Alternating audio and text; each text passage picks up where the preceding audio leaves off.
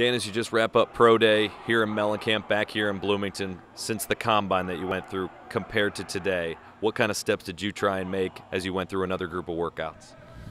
Uh, just little things, you know, getting my uh, steps a little bit better, work, focusing more on uh, position stuff, you know, because that's all I really did today.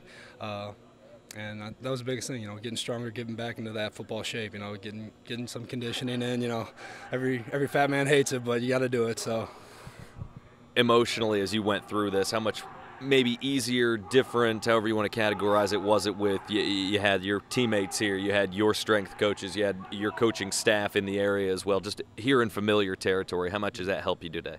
a lot. You know, it's it's good. You know, being being back here, it's comfy. You know, you you got Dimitri working with you, and I've been working with him for five years. So I mean, that's that's that's nothing new. You know, when, when we went to the combine, it's a it's a whole new group of old linemen. You know, and everything's boom, boom, boom. So working here with Dimitri, it was cool. Definitely a little uh, more comfy than. Uh, the NFL, but it was still a great experience up there. Dan, now as you await the NFL draft, what's the schedule for you as you just continue to get your workouts, stay healthy, obviously, and just uh, await where you're going to land in the NFL draft and with what prof- uh, professional franchise? What type of steps do you take these next few months and weeks? I mean, you said it. You just wait. You know, keep working on what you can uh, work on. You know, controlling what you can control.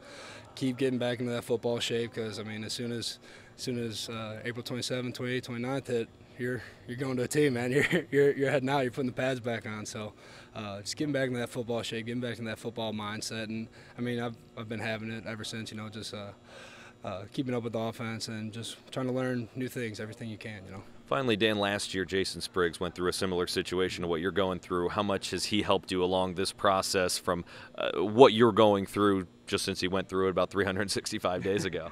yeah, I mean, he's been a huge help. Everything he said is pretty much to a T. You know, it's going to be, combine's going to be long. It's going to be fun, but it's going to be long, you know, just because you're there for a week. And uh, pro day, you know, you, you show what you show. You know, you get show what you've uh, improved on since the combine, you know. So I think I did that, and uh, I think uh, Jason's advice definitely helped me out.